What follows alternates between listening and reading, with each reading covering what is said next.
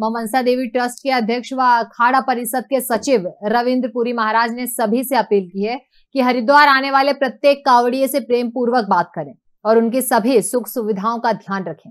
माँ मनसा देवी ट्रस्ट के अध्यक्ष व अखाड़ा परिषद के सचिव रविंद्र पुरी महाराज ने कहा कि कावड़िए शिव भक्त होते हैं। उनके अंदर क्रोध भी होता है।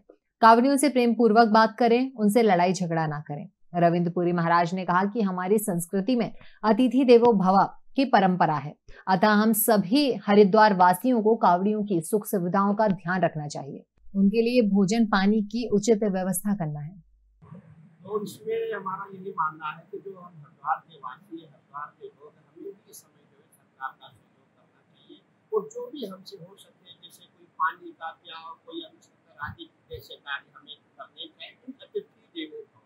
जो भी ये लोग आ रहे हैं, भगवान शंकर के दूत है, भगवान है यहाँ से जल लेके वो शंकर जी के शत्रु के मंदिर है के मंदिर है वहाँ पे जल उनका अभिषेक होगा तो ऐसे लोगों को जो है हमसे जो भी भाव भक्ति हमसे वो वो करनी चाहिए। वो खबरें जो आपके काम की है वो खबरें जो आपके लिए ज़रूरी है। हर आम और खास से जुड़े मसले।